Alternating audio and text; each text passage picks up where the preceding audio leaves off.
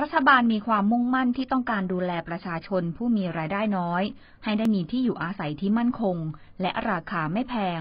หลังได้รับผลกระทบจากโควิด -19 นายจูติไกรเลิกรัฐมนตรีว่าการกระทรวงการพัฒนาสังคมและความมั่นคงของมนุษย์กล่าวว่า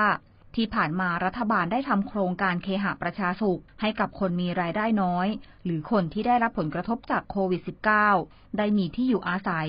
โดยนำห้องเช่าที่การเคหะแห่งชาติเคยมีอยู่ทั่วประเทศ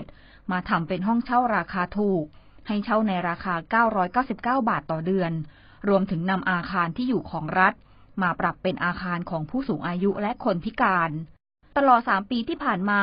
รัฐบาลดูแลประชาชนผู้มีรายได้น้อยแล้วกว่า 2 5 4 8 0 0 0 ครัวเรือน อยากจะบอกว่ารัฐบาลนี้ได้ทำเรื่องการส่งเสริมความมั่นคงด้านที่อยู่อาศัยเนี่ยนะครับ2ล้าน5แสน4 8 0 0 0ครัวเรือนนะครับ เราได้ปรับปรุงต่อเติมซ่อมแซมหมายถึงว่าบ้านผู้สูงอายุบ้านคนพิการเนี่ย1 2 9 3 0 6ครัวเรือนนะครับ พัฒนาที่อยู่อาศัยอีกเพิ่มเติมนะครับ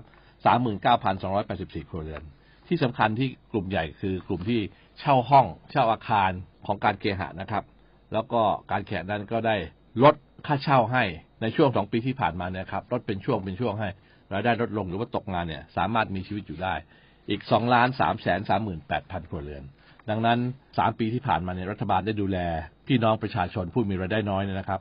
สองล้านห้าแสนสี่หมื่นแปดพันสามร้อยหกสิบหกครัวเรือน ให้สามารถมีที่พักพิง มีที่อยู่อาศัยที่มีราคาถูก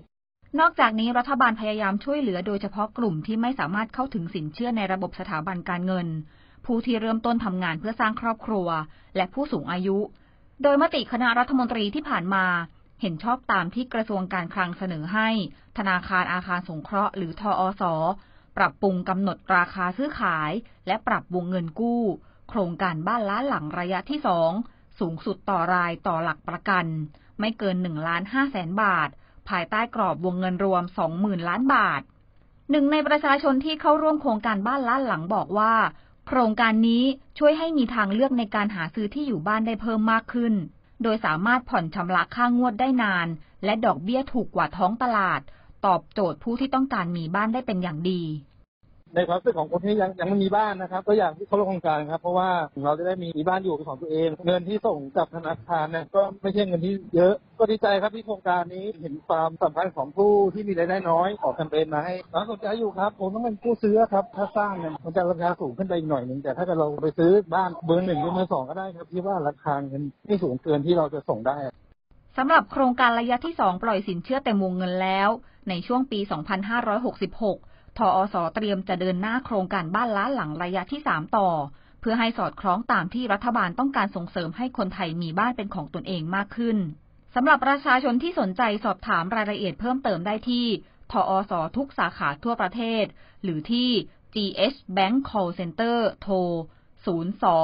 645 9000 นันนพัฒน์แสนตุ้ม รายงาน